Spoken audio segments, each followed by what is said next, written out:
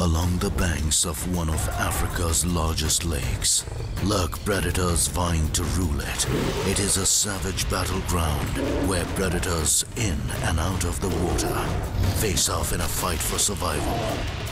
And worlds don't just collide, they rumble to death. The Lakeshore Killers, part of Big Cat Week. Tonight at 8 on Nat Geo Wild and Nat Geo.